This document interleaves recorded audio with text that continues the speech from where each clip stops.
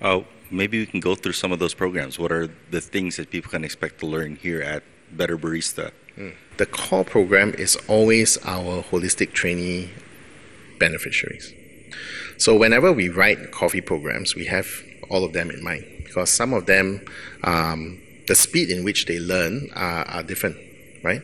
And the attention span some of them have are all different. Some can sit down and listen to you through a lecture. Some they get jittery and they start moving around. Some start fights, right? Uh, some become absent. So some lose hope very very fast.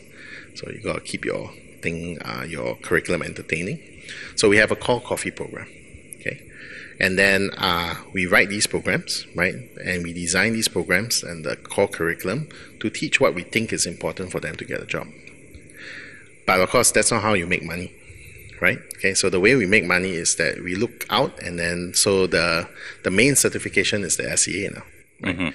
In the in the old days, though, it wasn't. It was SCAE and SCAA, right? So did you have both? Yeah, we had Okay, both. what- we yeah. had both, right? So the SCA used to control, have a bit of a tighter rein over their curriculum, so we just ran whatever they ran. The SCAE, however, was a bit looser. So they control the, the, the curriculum structure, they control the exams, but we are allowed to write our own class. So because of that, we take whatever we learn here and then we put them, right?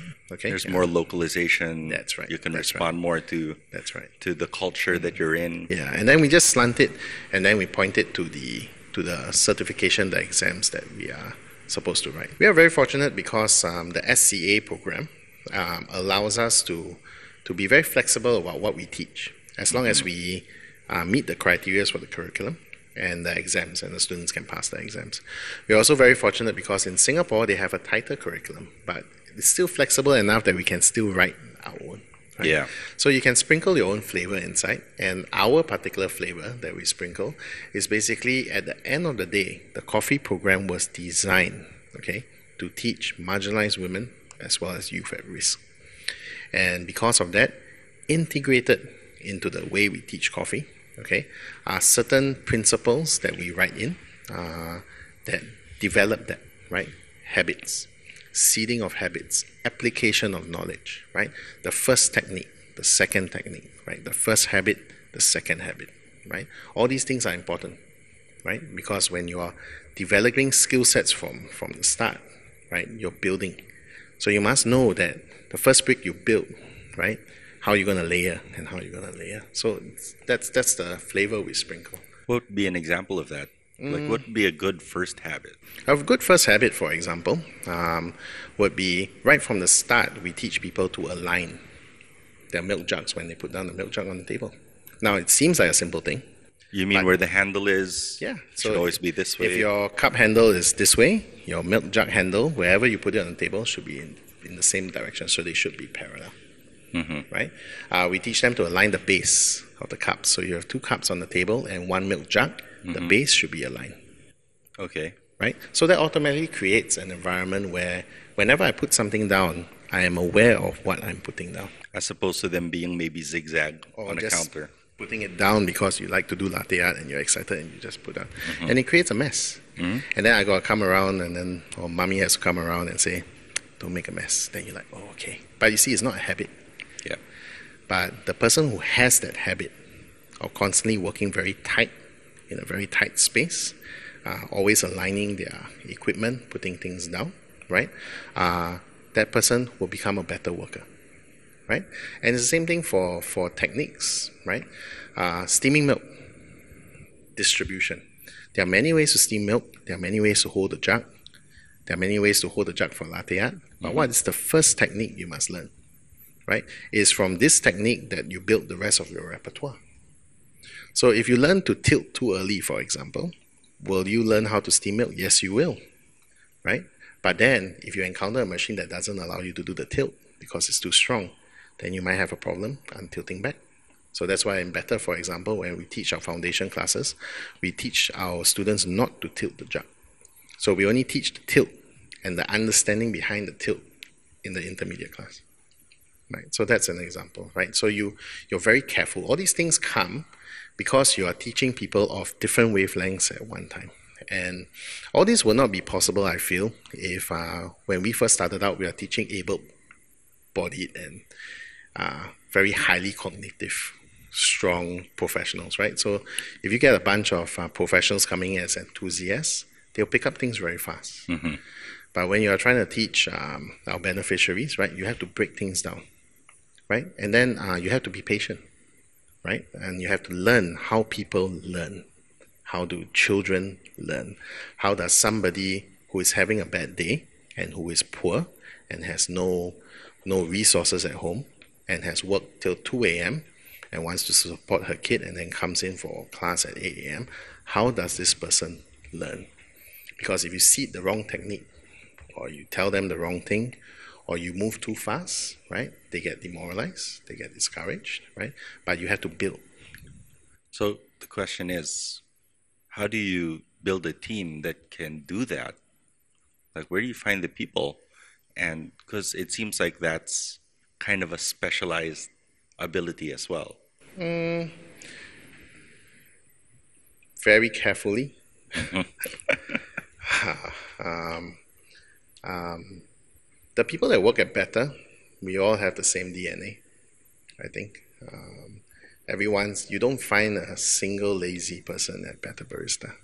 Um, you don't find anybody that has no purpose. You know, everyone who's in here uh, tends to be a very high performing individual in the first place right, or has potential to be uh, highly confident or highly capable of, uh, or a person with great capacity, right? And then you you train them, right? So uh, for the academy specifically, because we teach coffee, I'm always uh, being very careful to make sure that I have a good mix. You see, um, and I was just uh, sharing that to my trainers today, right? Um, that that a barista can always teach another individual how to make coffee. Yeah, but that's not how the academy makes money. The academy makes money by running classes. So, in other words, coffee skills alone is not enough to make you a trainer of 12 individuals who are giving their time and their energy to you. Education skills matter as well, right? Um, so, when people come in for interview, we are interested in teachers. We are interested in people who have education background. Our principal of the academy right now comes from the the the um, we call it the ITE in Singapore. So it's basically a college. She's an educator, right? She loves coffee. She also learns coffee, and she can make coffee. Right? Uh, she part times as a barista, but she's an educator by by profession Training, yeah, but right? So, so um, again, it really comes down. You have to be very selective. First, the DNA and the character. Then after that, you have to be very aware of what you're trying to build. All right, so let's talk a bit about that because, like, uh, let's talk a bit about character. So with with better, better is kind of a philosophy, right? Yeah. And there are these different uh, steps or stages, or and you see them written around all the walls, right? It says think better, feel better, do better, live better, Yeah, be better, yeah, right? So those are like core values. yeah. Uh, the idea is the idea is holistic training. Okay, so teaching somebody how to make coffee is not enough, or at least the people we are we are targeting or the, our beneficiaries. The coffee skill alone is not enough to keep them in the job. Emotional training is important. How you feel is important. How you think is important. How you live, right, is important, right? So, so uh, whenever we are we are training someone in the holistic training program, we are very aware that just learning how to steam milk isn't isn't enough, right? Uh, for some of them, they need to learn the emotions and deal with the emotions, right? That comes from from being in the workplace, and having a Work, working with a team as well. Yeah. Like I find that that's also a huge challenge. Like you can have a rock star, rock star barista, right, who's really good at his tasks, maybe does well in competition, that kind of thing. Yeah. Uh, but has a hard time in a team, Hmm. right? Or like uh, letting someone else shine, for example. I don't, I don't, I don't hire rock stars. yeah, uh, I don't like cowboys. Mm.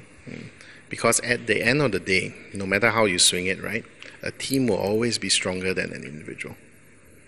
So in the academy, uh, Lydia and I, whenever we are looking out for people to join the team, uh, and then on the broader picture, when Pam and Jean, Pam and Jean are the founders, right? On the broader picture, when they are looking for people to join the Bettr Group, right? Whether it's from the holistic training side or from the from the from the marketing side, you're always looking to see if this person, right, um, has extraordinary strengths. And then after that, you make an assessment. What is this person's weakness? Right? Because if you have extraordinary strengths, you will also have extraordinary weaknesses. Weakness. Right? Then you make a decision character wise, can they fit? If they can fit, right? Okay. We balance it out. We look at the personalities, right? Uh, um, um, like the Myers-Briggs, right? So you look at all these personality things, and then after that, you figure the fit, and then it fits. Then we take a shot. And, And it- one- it's the it's as it's more important is what you're saying. This this aspect is more important than the coffee skill. Kind of, but that is the caveat to that is that in your organization you must be very quick to forgive. Hmm. That is the caveat, okay? Because when you are hiring what you think is a person with exceptional potential, you must be very quick to forgive because they will make mistakes. And at Bettr Barista, we forgive very fast, okay? And I would like to think we forget as well. In fact, I think it's it's very safe to say that in Bettr Barista, okay, we forgive and forget very fast. Pam embodies that. Pam's the founder. She embodies that. Jean embodies that. I will hope that I kind of embody that. That when you make a mistake and it's genuine, okay, we evaluate, we move on. Yeah. So the caveat is that you can't just like go, okay, I'm going to hire for character, right? Or I'm going to hire for strength. And then after that, when that person makes a mistake and then. So I think I think there needs to be two sides of the coin. And an, an understanding that that mistake is coming Yeah, and your need to forgive is also coming. yeah. And then as a leader of this kind of environment, you need to be big enough to let that ball drop and still catch. Mm-hmm. Right. So that's that's that's the that's the tricky part because we all get angry. Nobody gets angry if the ball drops and you catch it in time. Yeah. But for you to catch it in time, you have to be good enough to actually know when the ball is going to drop. And also willing to let the mistake happen Yeah. so that the team can grow. Hmm. Um, yeah, I, I see that as one of my own weaknesses is that like I have a tendency to jump in. Hmm. I'm like, oh, let's do this one right. Hmm. Right? As opposed to like letting, knowing that that mistake is going to happen, that ball is going to drop, Yeah. and let it drop so that the person can also learn from it and you can also learn. Yeah, but you also got to count the cost, right? Depends Yeah. on the project, right? If you need Yes. the money, you know, if you're going broke 100%. and you need the money, then let's not drop any balls, right? Yeah. So, so it really comes down. To, I think the context matters. I think the idea here is that a Bettr Barista and in a Bettr Group, uh, we are a very forgiving bunch of people. But that's also because we don't hire people that have a tendency to continuously make the same mistakes. Okay. right? So it's catch twenty two. Um, it's not just all hiring techniques. Your your culture has to be um, um, a culture that forgives very fast, right, and allows mistakes.